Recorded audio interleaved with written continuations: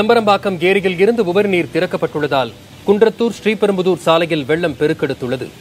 மேய்ச்சலுக்கு சென்ற மாடுகள் வெள்ளத்தில் சிக்கிக் கொண்டன இதுகுறித்த தகவல்களை செய்தியாளர் நவீனிடம் கேட்போம். நவீன் மாடுகளை மீட்க என்ன நடவடிக்கை எடுக்கப்படுகிறது?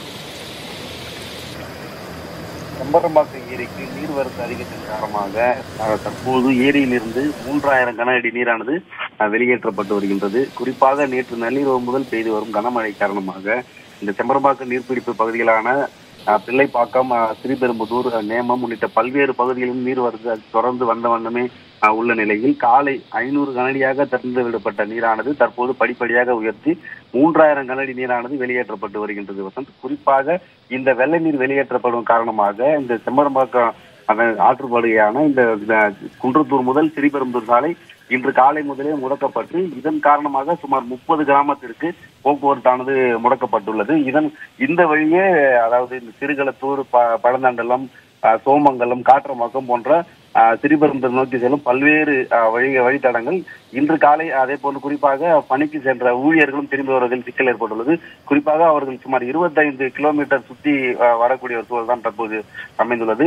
இந்த நிலையில் தற்போது மேய்ச்சலுக்கு சென்ற சுமார் பத்துக்கும் மேற்பட்ட எருமை மா எருமை மாடுகள் அஹ், அவ்வழியே வந்து சிக்கிக் கொண்டு செய்வதறியாது திகைத்த நிலையில் அந்த அஹ், வெள்ள அந்த வெள்ள நீட்டிலே அடித்து சென்று கரையினை நீந்தி கடந்து வந்ததை நம்மால் பார்க்க முடிகின்றது. அதே போல் இரண்டு மாடுகள் மட்டும் வர வர இயலாமல் சிக்கிக் கொண்டது.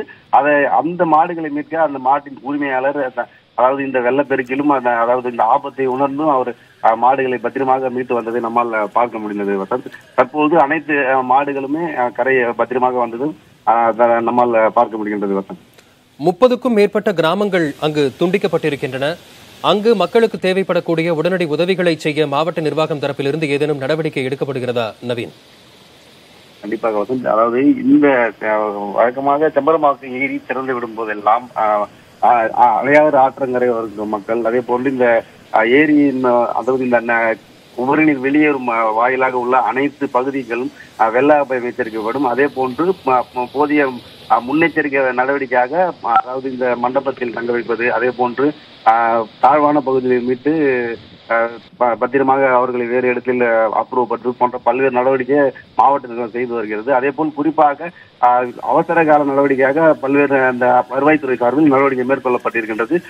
மாற்று வழி அதாவது இந்த இந்த வழி துண்டிக்கப்பட்டாலும் அருகே திருமுடிவாக்கம் சுமார் ஒரு பத்து கிலோமீட்டர் உள்ளது. அந்த வழியை அவர்கள் பயன்படுத்தி வருகின்றனர். அத்தியாவசிய பொருட்களான இந்த பால் பொருட்கள் அவசர கால வாகனங்கள் மற்றும் இரு இரு தரப்பு வாகனம் செம்பரமாக ஏறி இந்த மதகு வழியாக தற்போது அனுப்பி வை- வைத்து வருகின்றனர். தற்போது இந்த சாலை முடக்கத்தினால் இங்கு அது குறிப்பாக இந்த ஸ்ரீபெரும்புத்தூர் சாலை தொழிற்சாலை மிகுந்த சாலை என்பதால் தொழில் நிறுவனங்களுக்கு செல்லக்கூடிய ஆட்களும் ஓரளவுக்கு பாதிப்புக்குள்ளாகின்றனர் வசந்த்.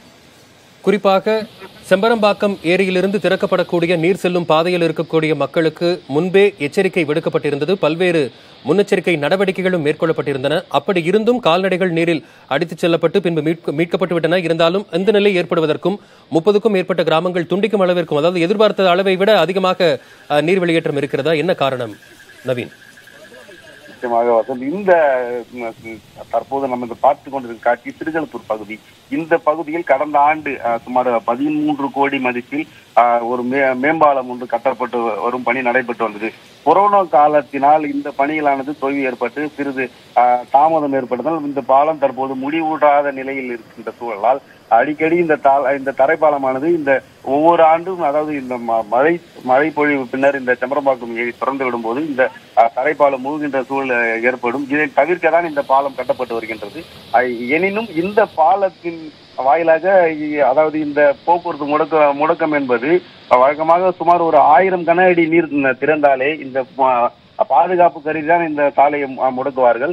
அஹ் தற்போது மூன்றாயிரம் கன அடி நீரானது வெள்ளப்பெருக்கு எடுத்து போகும் காரணம் இது ஒரு- இது ஒரு அபாயமான சூழல்.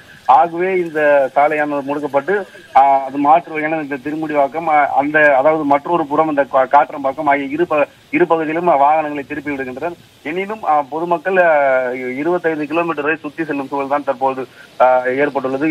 அதாவது இந்த பேரிடர் காலத்தில் அரசு அறிவிக்கப்பட்ட அறிவிப்பு என்னவென்றால் அவசியமில்லாமல் பொதுமக்கள் வீட்டை விட்டு வெளியே வர வேண்டாம் என தெரிவித்தனர். அதை அதை தற்போது அவைதான் அவர்கள் பின்பற்றி வருகின்றனர் வசந்த் ஏரியில் இருந்து உபரி நீர் திறக்கப்பட்டுள்ளதால் குன்றத்தூர் ஸ்ரீபெரும்புதூர் சாலையில் வெள்ளம் பெருக்கெடுத்துள்ளது. தகவல்களுக்கு நன்றி நவீன்.